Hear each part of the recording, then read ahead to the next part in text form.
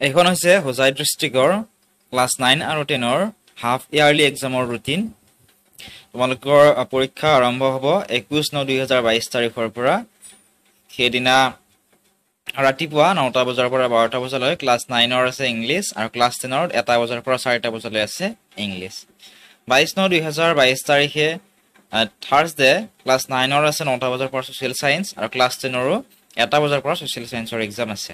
তেইছ ন দুই হাজাৰ বাইছ তাৰিখ অৰ্থাৎ ফ্ৰাইডে নটা বজাৰ পৰা ক্লাছ নাইনৰ জেনেৰেল ছায়েন্স আছে আৰু ক্লাছ টেনৰো আছে এটা বজাৰ পৰা জেনেৰেল ছায়েন্সৰ এক্সাম চৌব্বিছ ন দুই হাজাৰ বাইছ তাৰিখে ইলেক্টিভ আছে ক্লাছ নাইনৰ নটা বজাৰ পৰা ক্লাছ টেনৰ আছে এটা বজাৰ পৰা ইলেক্টিভ ছাবজেক্ট যাৰ যি ইলেক্টিভ ছাবজেক্ট আছে সেইবিলাকৰ এক্সাম আছে।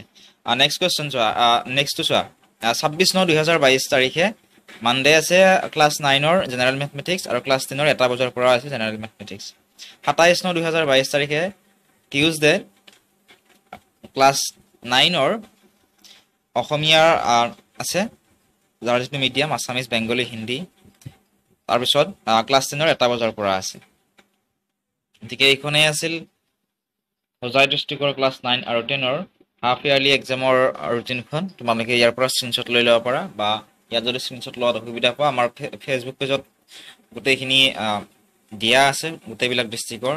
কামৰূপ শিৱসাগৰ হোজাই গোটেইবিলাক ডিষ্ট্ৰিক্টৰে দিয়া আছে।